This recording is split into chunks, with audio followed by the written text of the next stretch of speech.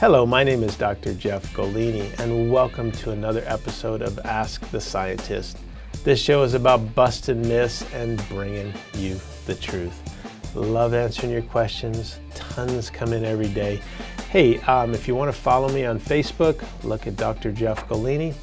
Um, I'm always posting lots of nice things, so you can uh, message me through there. Send me an email with your questions. Uh, maybe I'll read it on the show, um, but I'll always for sure answer your questions. Anyway, uh, Chris from Irvine, California writes Dr. Jeff, what is your thoughts on creatine mixed in alkaline water? No, no, and no. Now, I don't mean to be rude, Chris, but I don't know what kind of creatine you're using.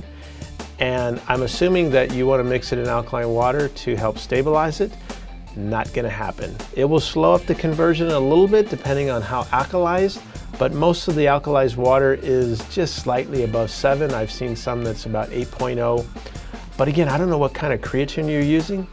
So um, if you're talking about the granddaddy creatine monohydrate, it's still going to convert to creatinine. Any other type of creatine, creatine nitrates, creatine HCl, rubbish, don't use it, throw it out.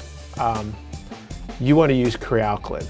The reason why Kre-Alkalyn is that Kre-Alkalyn is the only stable form of creatine. And guess what? It has already been buffered for you, similar to what you probably were trying to do with that alkalized water.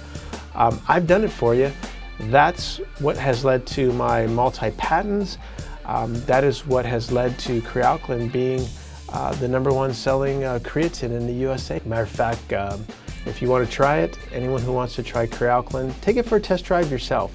Uh, send me an email and I'll send you out some to try and you can see the difference. No loading, no side effects.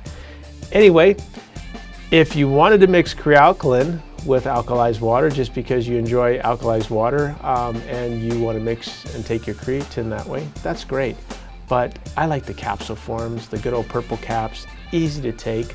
You don't need to worry about, you know, eating, not eating, drinking, um, very much uh, to the point. Take two caps and get on with your day.